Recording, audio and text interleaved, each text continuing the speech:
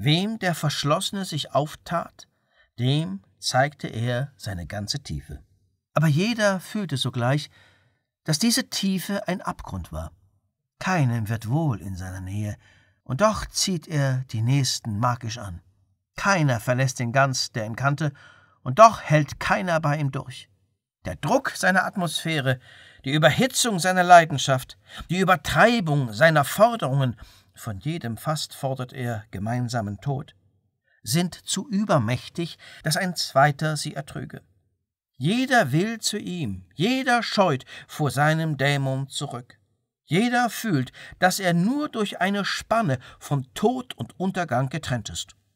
Wie ihn Pfuel in Paris abends nicht zu Hause findet, stürzt er in die Morgue, ihn unter den Selbstmördern zu suchen. Wie Marie von Kleist eine Woche lang nichts von ihm hört, jagt sie ihren Sohn. Er soll ihn aufsuchen und Entsetzliches verhindern. Die ihn nicht kannten, halten ihn für gleichgültig und kalt. Die ihn kennen, schauern und erschrecken vor dem finsteren Feuer, das ihn verzehrt. So kann ihn keiner anfassen und stützen. Den einen ist er zu kalt, den anderen zu heiß. Nur der Dämon bleibt ihm getreu. Er weiß es selbst, dass es gefährlich ist, sich mit mir einzulassen, wie er einmal sagt. Deshalb klagte er auch keinen an, der sich von ihm zurückgezogen. Wer ihm nahe war, hat sich versenkt an seinem Feuer. Wilhelmine von Zenge, seiner Braut, hat er durch Intransigenz seiner moralischen Forderungen die Jugend verstört. Ulrike, der Lieblingsschwester, das Vermögen weggelebt. Marie von Kleist, die Herzensfreundin, lässt er leer und vereinsamt zurück. Henriette Vogel reißt er mit sich in den Tod. Er kennt die Gefährlichkeit seines Dämons, die furchtbare Fernwirkung seines Inneren.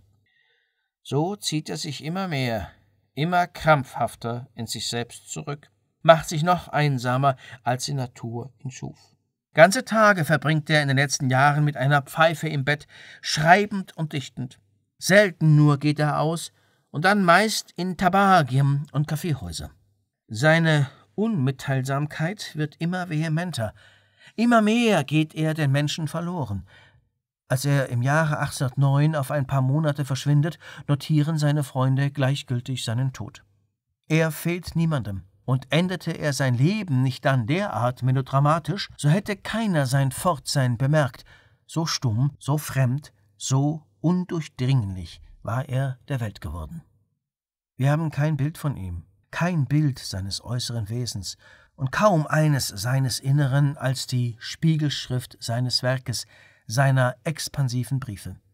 Ein einziges Bild freilich gab es des Bildnislosen, ein wundervolles, das die wenigen erschütterte, die es gelesen, ein Bekenntnis im Geiste Rousseaus, eine Geschichte meiner Seele, die er kurz vor seinem Tod verfasst hat. Aber wir kennen sie nicht. Er hat das Manuskript verbrannt, oder die gleichgültigen Hüter seines Nachlasses haben es sorglos vertan, so wie seinen Roman und manches andere Werk.